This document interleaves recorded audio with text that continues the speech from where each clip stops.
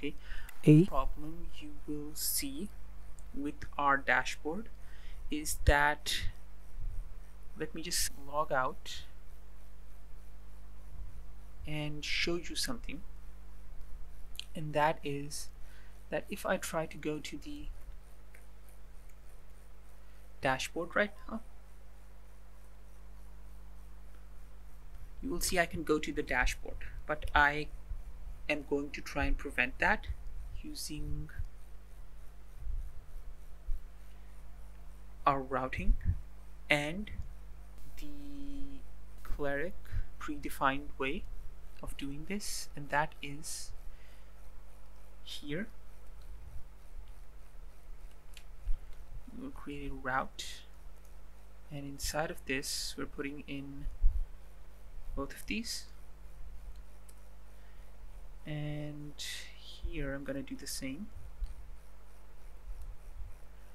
Route.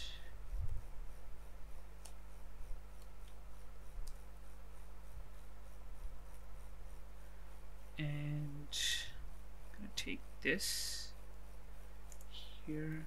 I'm gonna say this and here. I'm gonna add a slash okay. So here we're gonna add element and here we're to use a component that is pre-made for us using Clerk so that we can have protected routes that is called signed out and close this.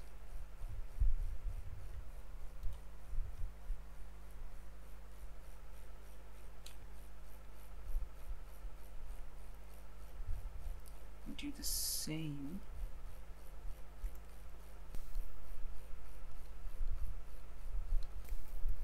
In. He signed and signed in. And I'm gonna save this.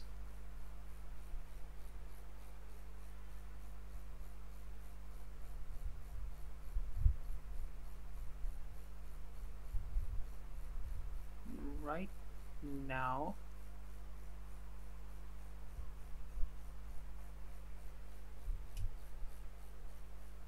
As you can see I cannot see the dashboard anymore because it's gone. It's being prevented. And if I go to login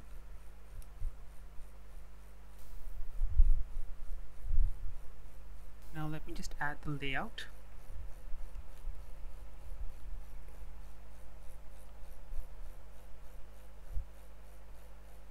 Here's going to be the layout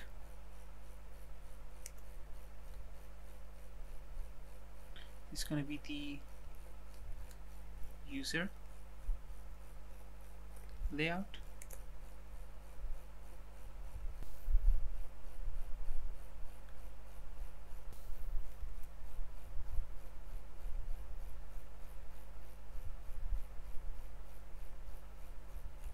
Okay save this. Okay so now we have a route that has both of these routes inside of it and a layout component which is basically this thing right here that has an outlet okay? It's nothing complicated. The user one is basically the same thing. And I've covered it with a signed out. And what this component is doing is the pre-made Clerk component that is acting as a protected route. So whenever we go and visit this route if we're signed out these two will show. Otherwise it will redirect us back to the dashboard. If you see right now since we are not signed in it's not showing it. If I go to login. As you can see, our login page is shown to us because we are not signed in or logged in. I'm just gonna go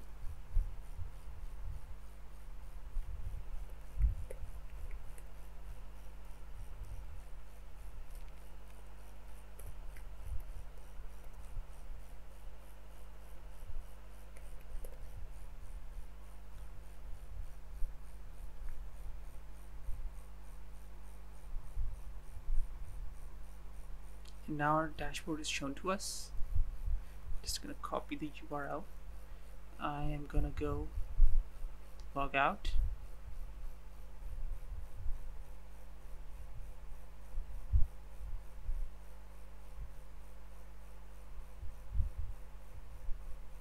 Show the login page. But if since I'm not logged in right now I'm going to the dashboard again